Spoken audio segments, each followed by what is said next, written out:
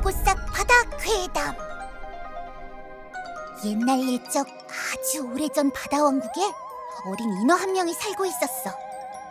하루는 그 인어가 물고기 친구들과 놀다가 왕궁에서 아주 멀리 떨어진 곳까지 가게 된 거야. 시간 가는 줄 모르고 놀다가 늦은 밤이 되어버렸지. 어린 인어는 급한 마음에 빠르게 헤엄쳐서 돌아가기 시작했어 그러다 길을 잃고 말았지. 주변엔 멸치 하나 보이지 않는 외진 곳이었어. 그때 앞쪽에 어떤 인어 한 명이 희미하게 보이기 시작했어. 그 인어도 어린 인어처럼 길을 잃었는지 혼자 웅크리고 앉아서 훌쩍거리고 있었지. 너무 어두워. 누가 좀 도와줘. 너무 어두워. 누가 좀 도와줘. 이런 말에 계속 중얼거리고 있었대. 주변에 아무도 없어 점점 무서워지던 참에 정말 다행이었지. 어린 인어는 집에 같이 갈 생각으로 그 인어의 어깨에 손을 올렸어. 그리고 인어가 천천히 뒤돌아보는데 얼굴에 커다란 구멍밖에 없는 거야. 아직도 바닷속 어딘가에 얼굴 없는 귀신 인어가 바다를 헤매고 있다는 전설이 있어. 아, 너무 피곤해. 오늘은 이만 자러 가야겠다. 다들 잘 자. 음,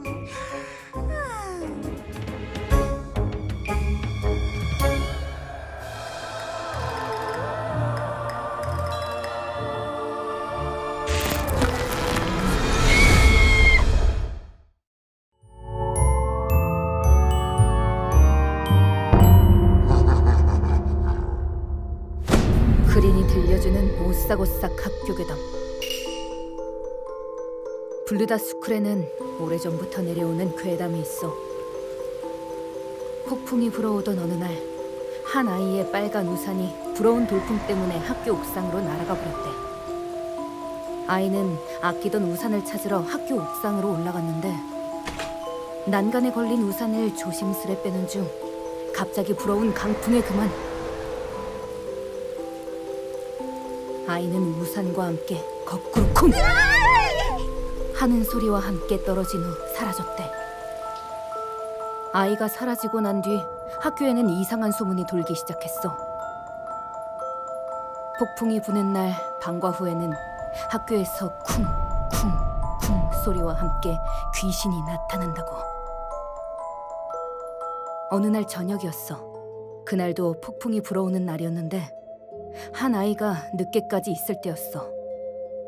멀리서 쿵 쿵 쿵 소리가 희미하게 들려오는 거야. 뭔가 이상함을 느꼈지만 아이는 발표 준비를 빨리 끝내기 위해 집중했지. 발표 준비가 끝나고 집에 가려고 일어났는데 밖에는 비가 몹시 내리고 있었지. 비 오네. 우산도 없는데. 우산이 없어 걱정하던 아이는 마침 교실 구석에 있는 빨간 우산을 발견했지. 다행이다. 오늘만 빌려가도 되겠지? 우산을 들고 안도의 한숨을 쉬는 중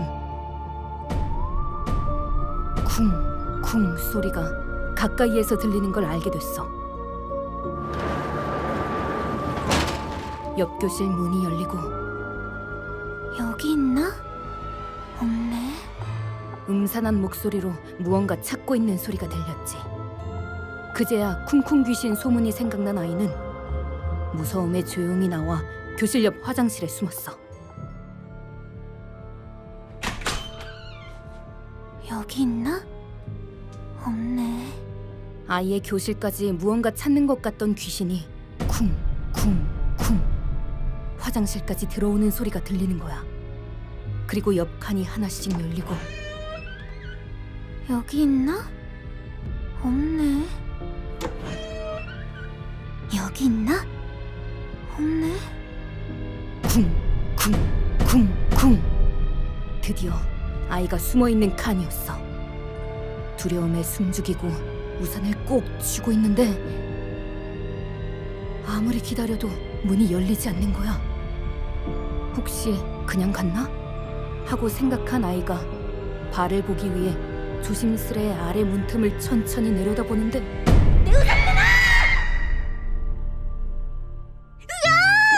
너무 무서웠지 뭐야. 하지만 친구들이랑 캠핑하며 듣는 무서운 얘기는 너무 재미있는 경험이었어. 요즘 세상에 귀신이라니.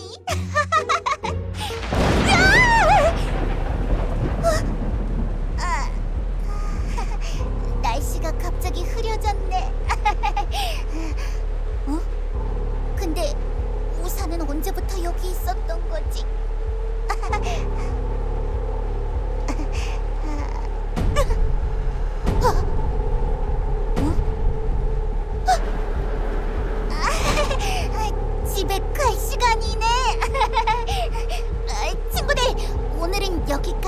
que